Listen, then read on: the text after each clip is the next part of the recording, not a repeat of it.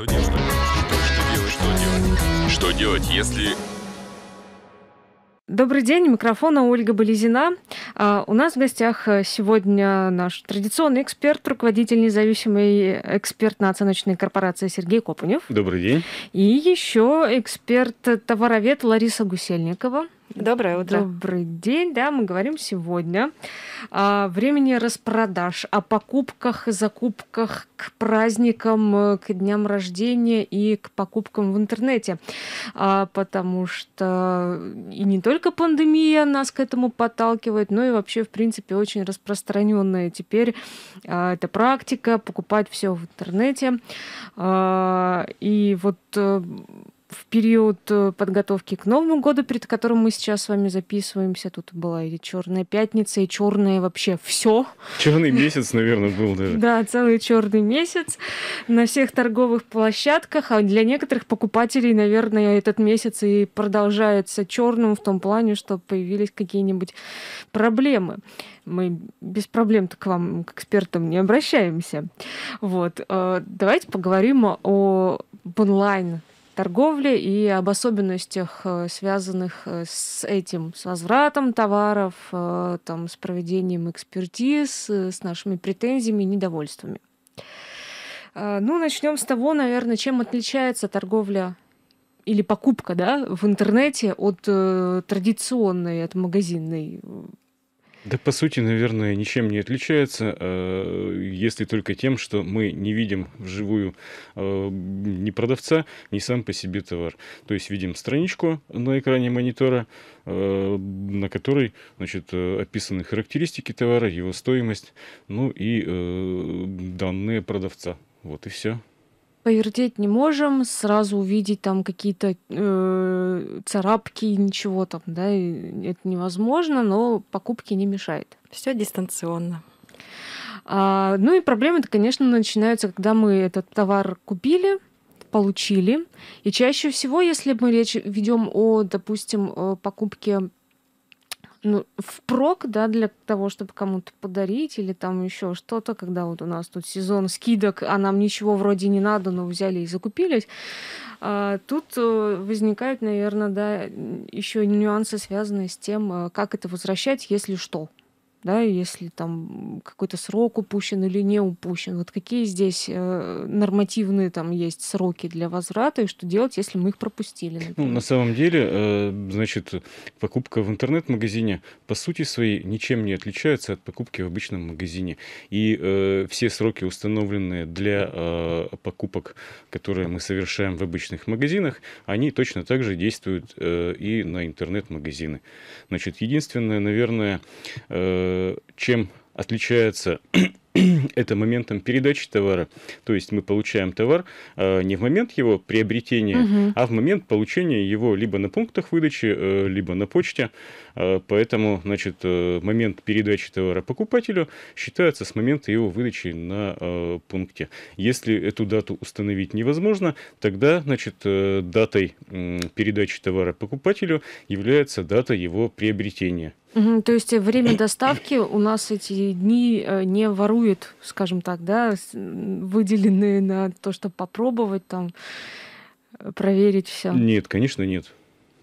А хотела спросить э, Ларису, часто ли встречаются э, какие-то а, злоупотребление, скажем, со стороны интернет-продавцов тем, что их никто не видит, например, да, можно отправить что-нибудь не очень качественное, там, связываться с возвратом не захотят. Вот есть такая какая-то там практика?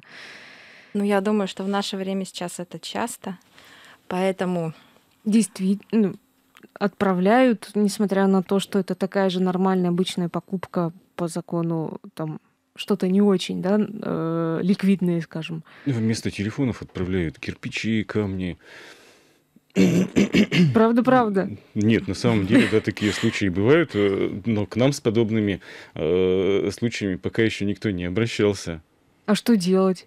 Вот если мне пришли камни или губка. Во-первых, мы э, должны выбрать магазин. Э, хотя бы рассмотреть какие-то там рекомендации о нем, смотрим отзывы о магазине. Ну и потом в процессе выбора товара нам тоже лучше ориентироваться на отзывы покупателей, на характеристики товара, внимательно смотрим. А если магазин какой-то, ну, думаю, что... Вызывает подозрения или наоборот не вызывает подозрения хороший, то там можно запросить, наверное, и консультанта с консультантом, с консультантом переговорить, и какие-то дополнительные характеристики товара запросить. Ну, а так... А так дальше... Ну, так на дальше свой на свой вкус, да. Да, страх-риск. А, Э, что чаще всего? Вот действительно телефоны приходят не очень хорошие, или вообще не телефоны, или там то же самое бывает с обувью, там с одеждой, с косметикой? Да нет, быть может с чем угодно, независимо от того, что э, значит, люди заказывают. Э, недобросовестные продавцы, ну или, наверное, в данном случае лучше называть их своим именем мошенники, Э, вместо э, того, что продается на сайте, значит, э, наполняют упаковку ну, всем чем угодно, только не тем, что они продают. Поэтому в данном случае мы должны действовать каким образом? Получив не то, что мы хотели, необходимо обратиться в полицию с заявлением. Даже так, уже в Конечно. полицию. А тут иных вариантов никаких нет. То есть, потому что в отношении покупателя совершен акт мошенничества э, уголовно наказуемое деяние. А подождите, вы обычно рекомендуете сначала там с контрагентом, ну, в других вот ситуациях попытаться полюбовно решить спор. А в данном случае Если спор мошенник. полюбовно решить не удастся, потому как, ну, мошенническое действие совершено, э, пришло не то, что мы ожидали совершенно. Вот. Э, и, э, как правило, продавец в данном случае устраняется и на контакт с покупателем не идет. Поэтому э, у нас выход только не, один. Не скажут, так, Обратиться... пришлите нам обратно кирпичи, мы телефон все-таки отправим. Это больше при получении на почте. А если магазин хороший, нормальный, то мы либо получаем у курьера, либо на пункте выдачи, и тогда мы рассматриваем уже товары и упаковку. Часто хочется сбежать с пункта выдачи быстрее, схватив коробку, но вы, наверное, да, рекомендуете каждый раз да. там сразу на месте все. Сразу смотрим Без, на упаковку. Да.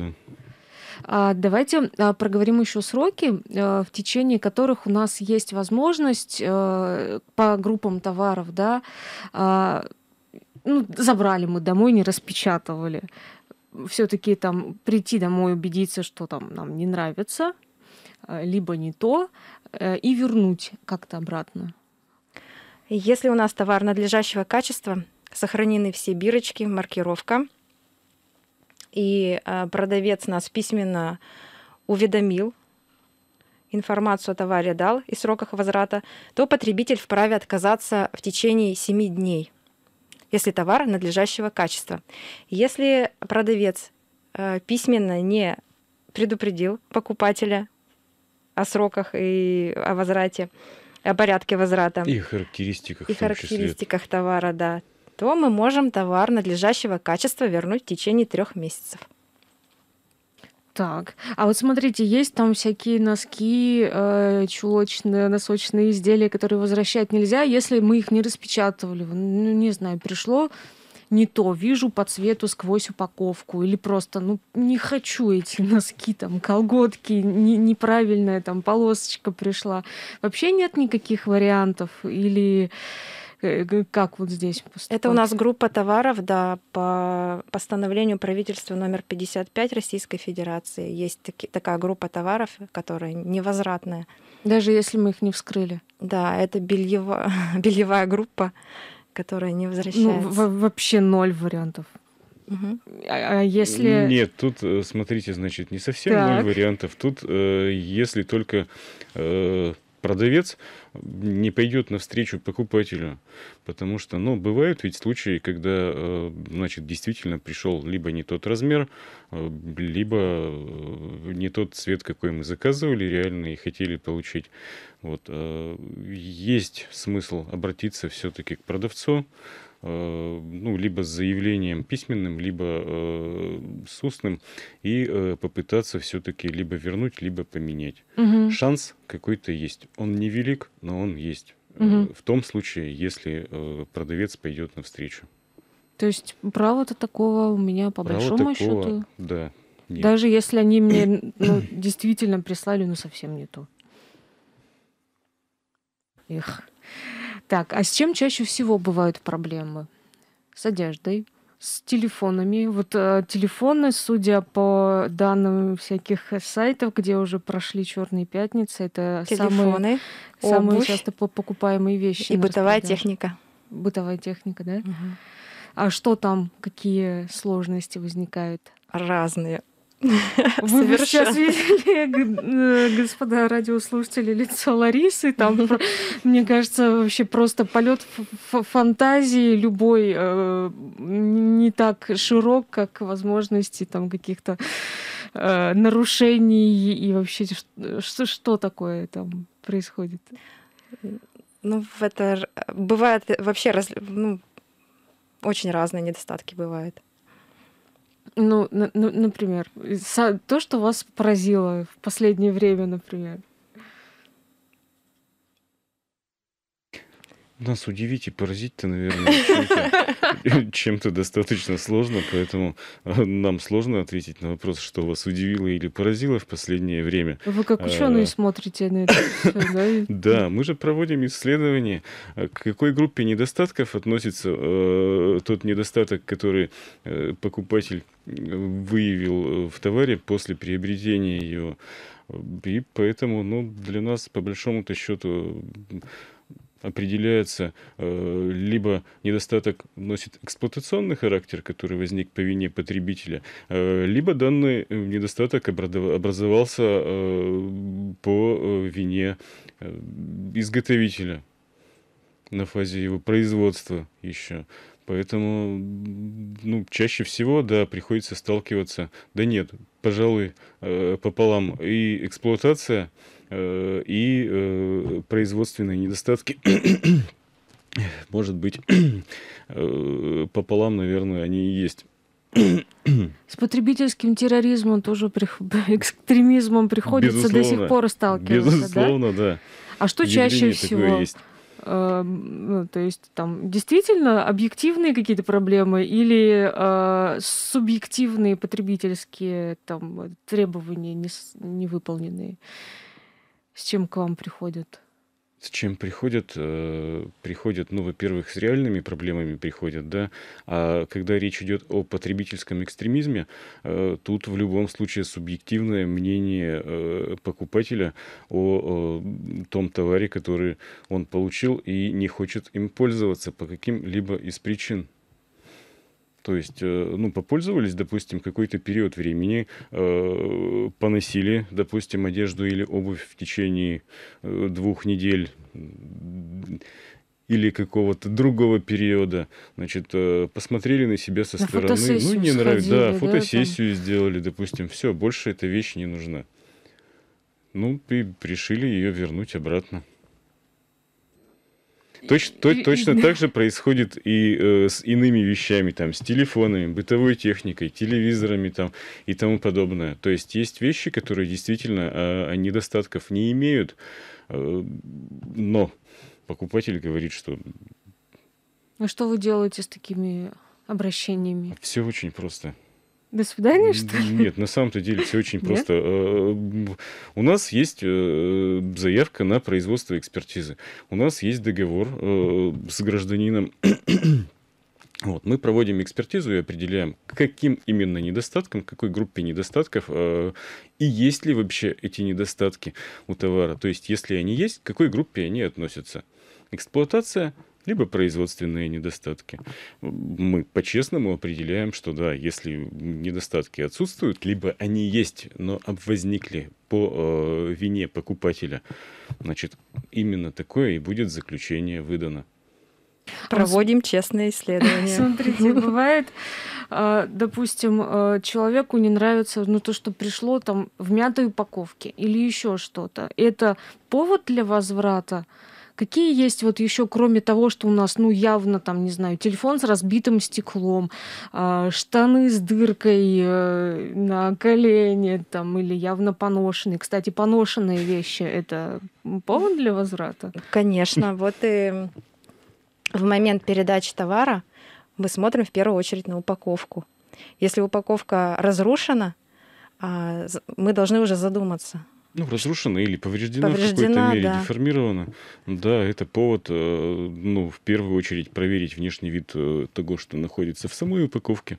Э, и, наверное, проверить работоспособность прямо здесь, не отходя от, от того места, где угу. мы получаем. Посмотреть товар хотя бы внешне. А если с товаром все нормально, ну вот я хотела подарить телефон красивый, нормальный, упакованный, а у него вот коробочка там, не знаю, порванная и грязная. Ну, тоже нужно задуматься задуматься, да, если упаковочка Я, я думаю, что да, в данном случае грязная, имеет да. смысл отказаться да, от да, покупки.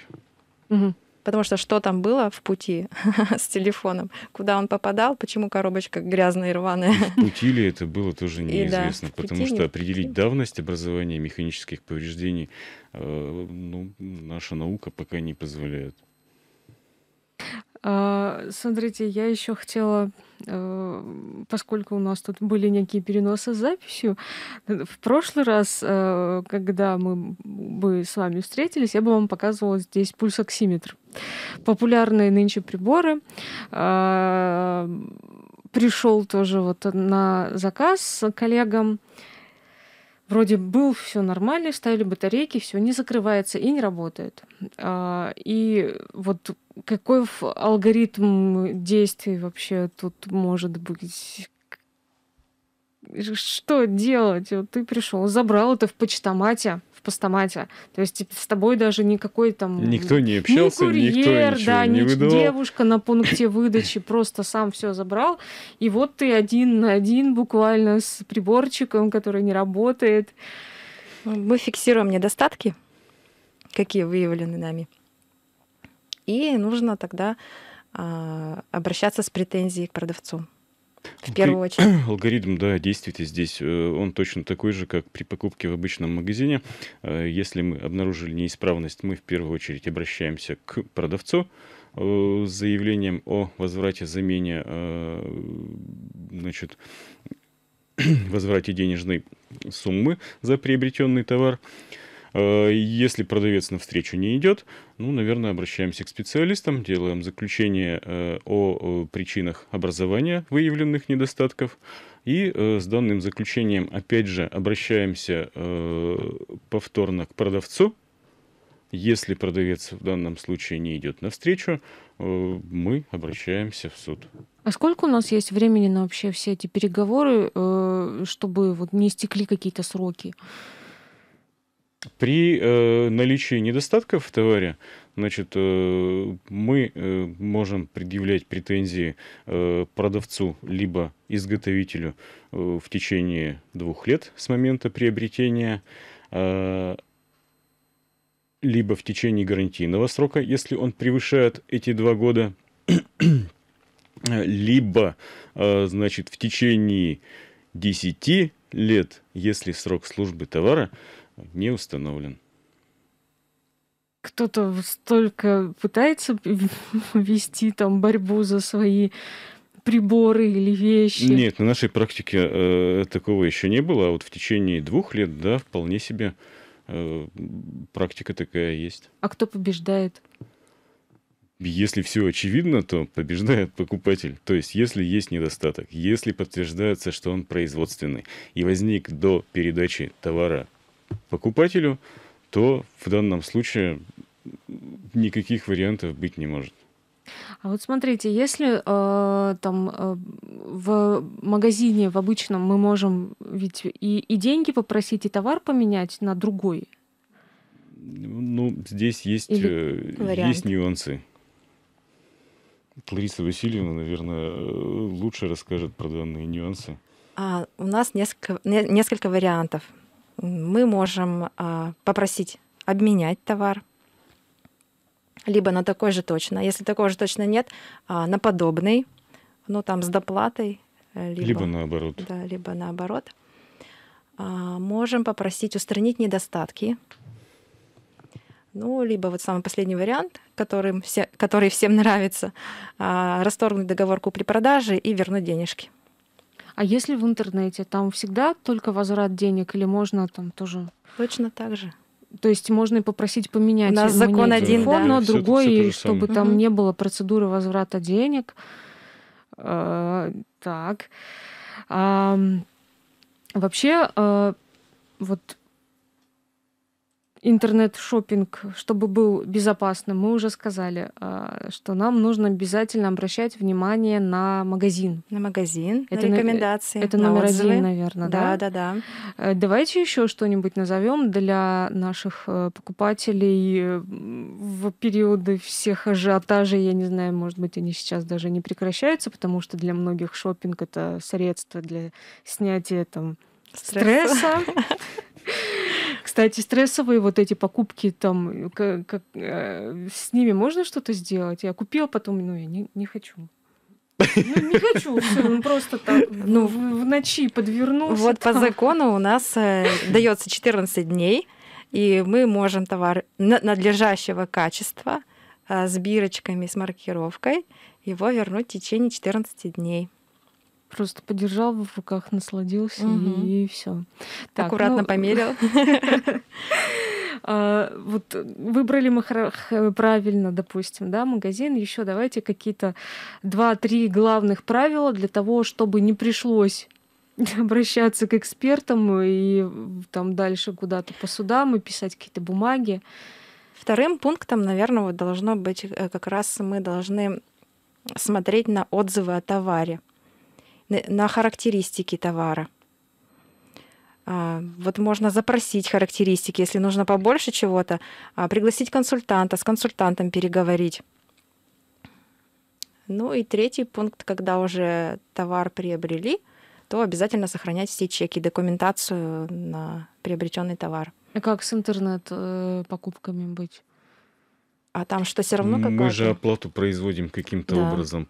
Имейлы не Продавцу удалять. В любом случае. Да, То есть там. мы оплачиваем либо через онлайн банк, э, либо каким-то иным образом. Э, То есть у нас э, либо чек, либо квитанция об оплате за товар, они сохраняются все равно, они никуда не деваются. Поэтому мы их, вот эти платежные документы, сохраняем. И э, потом, значит, можем там, где нужно, их предъявить.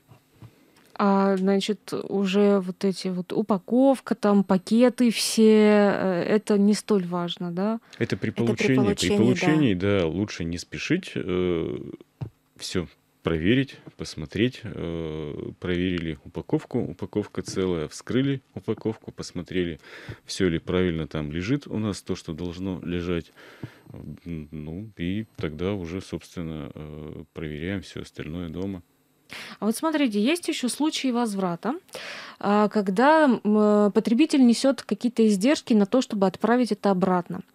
А Может, можно ли потом попытаться это а, как-то ну, взыскать? э, Не потому, что вот я возвращаю, что мне не понравился цвет блузки или там пуговки, а действительно это был там какой-то, а, там, не знаю, кирпич вместо телефона. Мы с вами договорились, что вы его принимаете обратно, но я пришла на почту, и с меня попросили там 500 рублей за пересылку. Транспортные расходы не учитываются. Идут э, это расходы покупателя. Даже если все согласны, В любом что там что-то не то. В любом случае. Эх.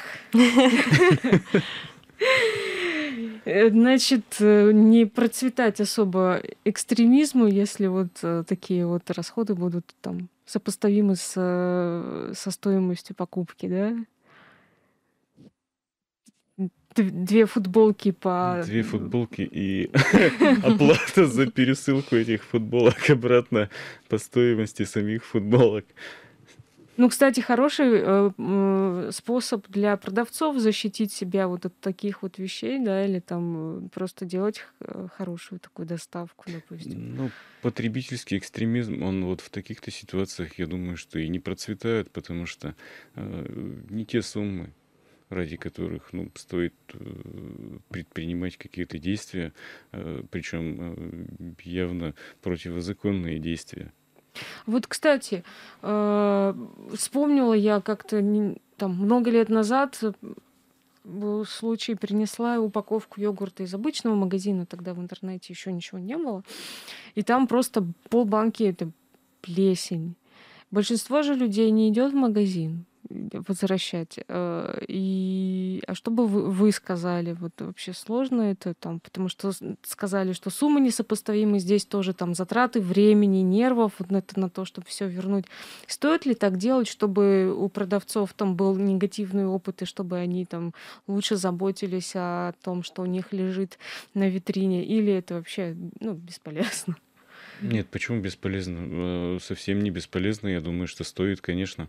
Э, Другой вопрос, что при э, значит, обращении с продуктами питания все это, все это экономически нецелесообразно. Допустим, провести экспертизу какого-то продукта питания будет стоить дороже, чем сам по себе продукт. И поэтому э, люди, когда звонят и интересуются, сколько будет стоить экспертиза по продуктам питания, узнают э, ее стоимость в, большинстве, да не во всех случаях, они э, отказываются значит, э, от экспертизы и э, либо решают э, вопрос каким-то иным способом, э, либо, наверное, просто э, отступаются и все на этом этапе.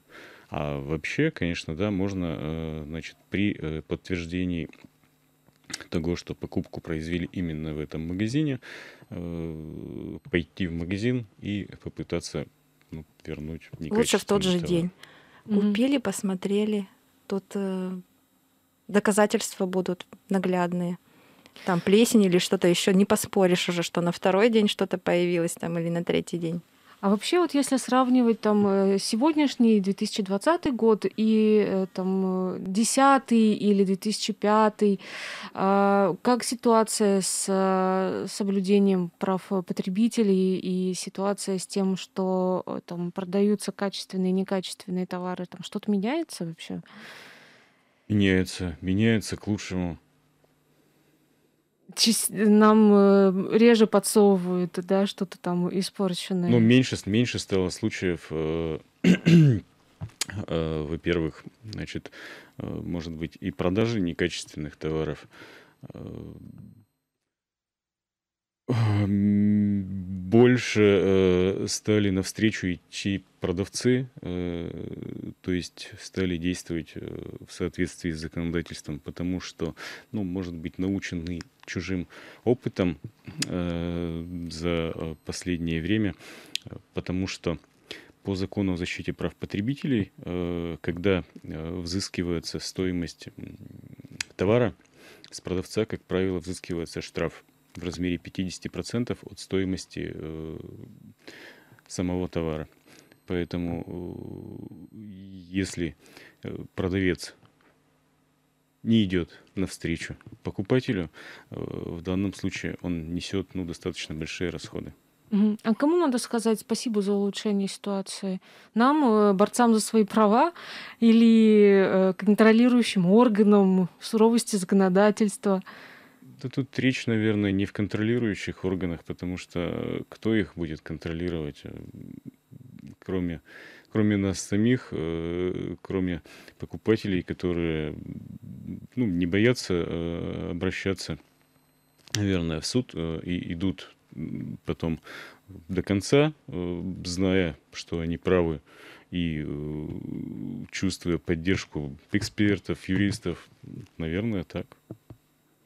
А, Будем заканчивать нашу программу. Что пожелаем нашим шопоголикам, покупателям и просто людям, которые хотят что-то к, э, к Новому году или там каким-то другим праздникам приобрести? Главное не спешить. Будьте внимательны. во всем. Да. Ну и приятных покупок. Э, это были э, эксперт-товаровед Лариса Гусельникова и руководитель независимой экспертно-оценочной корпорации Сергей Копанев. Я Ольга Болезина. А, подборку наших программ э, можете всегда найти на нашем сайте хакирова.ру, ну и в подкастах группе во ВКонтакте. Всем счастливо. До свидания. Всего доброго.